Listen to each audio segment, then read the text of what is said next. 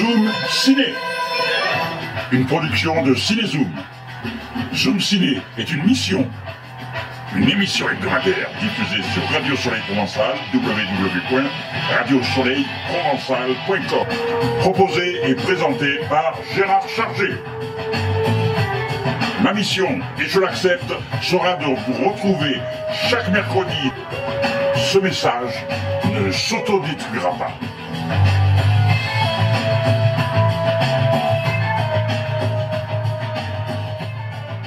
Nous étions à la conférence de presse du Festival du cinéma espagnol de Marseille. Ciné Horizontes aura lieu cette année du 3 au 17 octobre à Marseille. Nous vous offrirons des places si vous nous appelez au 06 09 17 41 64. Cinézoom est partenaire avec Ciné Horizontes.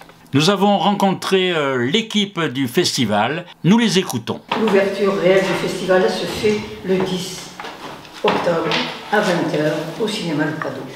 Donc euh, cette 23e édition, elle aura lieu évidemment dans beaucoup de cinémas marseillais, Le Prado, notre terre d'asile, notre centre de gravité, mais aussi les variétés, l'Artflex, l'Alhambra, l'Alcazar, et dans la région évidemment, Avignon, Nice, Digne, La Ciotat, Aubagne, Berlétan, Aix-en-Provence, Bordeaux.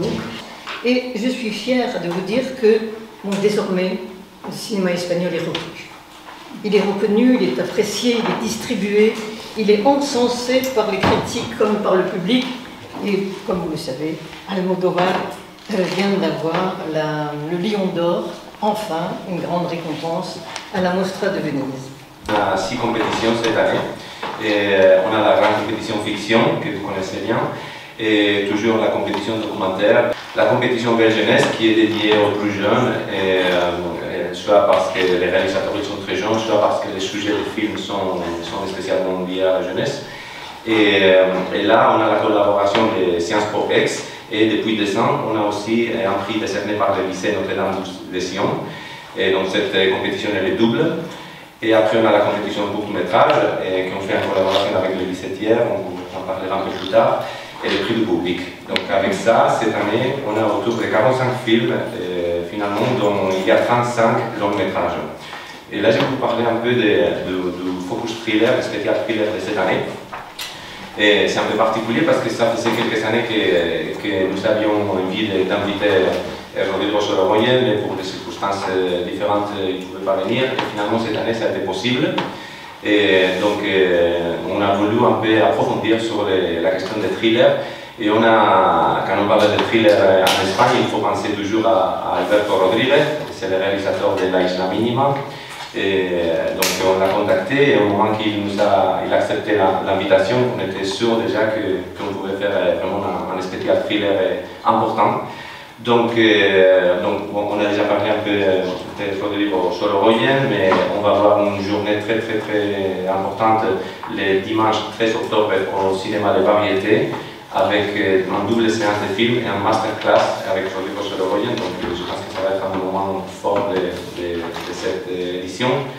Et j'insiste évidemment sur la présence renouvelée de notre ami Fernando Trueba, qui donnera à Marseille son dernier film, qui est une Dorca, une création internationale, une mhm. première internationale. Oui.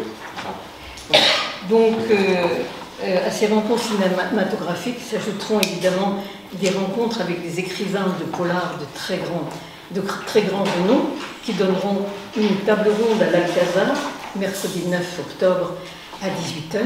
Je vais parler de Victor del de Carlos Tanon, de Carlos Sainz de la Marta. Ne ratez pas cette précieuse euh, rencontre littéraire. Dans la fenêtre poubelle, elle aura lieu le 3 octobre au cinéma des variétés à partir de 18h30. Et il y aura deux films et au milieu, il y aura un concert de Ruben Paz. Après, euh, la deuxième journée un peu spéciale, c'est le 6 octobre, le dimanche. C'est la journée argentine et elle aura lieu au cinéma La Flex à partir de 15h45. Et on aura aussi deux films et un spectacle, ça sera euh, un spectacle de danse tango avec Diego Amado et Céline Will. La, compétition Belle Jeunesse qui est pour les jeunes, la compétition court métrage qui est faite par les jeunes, nous avons aussi des séances, euh, des séances scolaires qui s'étendent cette année de plus en plus euh, vers les 6e, 5e, parce que traditionnellement on commençait en 4e, parce que c'est l'année où commence l'apprentissage de l'espagnol, et maintenant on a décidé de, de mettre des films d'animation qui sont sans parole, et donc les, les élèves peuvent comprendre euh, sans connaître l'espagnol. donc il y a trois films d'animation. Un vraiment pour les, commence pour les primaires, qui s'appelle Valentina, qui sera en VF par contre. C'est un, jeune auteur de, 34 ans qui s'appelle Jairo González, qui vient donc développer son projet, la, Collision, la collision, qui raconte euh, une histoire autobiographique de comment sa, famille en 2008 à Benidorm a été impactée par la crise. Euh, surendetté, il a dû fermer son entreprise, euh, est tombé dans une spirale de pauvreté et euh, jusqu'à peut-être devoir vendre euh, leur maison. Donc c'est le combat pour ne pas vendre la maison, vu à travers lui qui avait 17 ans à l'époque. Voilà, c'est ce, scénario-là qui va développer dans le cadre de, notre résidence. Le petit marché du film qu'on appelle Diálogos Horizontes. Donc ça fait un moment que nous avions l'idée d'ouvrir un peu l'activité du festival, un peu l'activité professionnelle et industrielle aller au-delà des projections pour le public, mais aussi euh, faire des activités qui, qui, bon, qui, attirent un peu les, professionnels. Donc cette année, on s'est lancé à cette première édition qui aura lieu euh, le 15 octobre l'après-midi et le 16 octobre le matin au Novotel euh, du Prado.